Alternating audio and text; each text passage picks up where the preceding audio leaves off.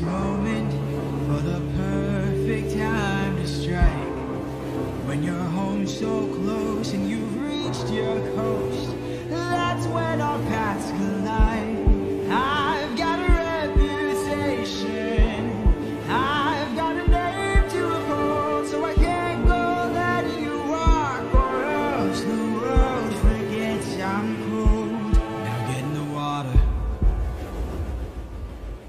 Get in the water.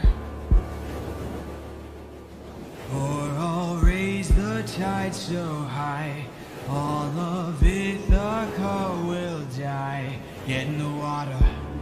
Wait. Get in the water.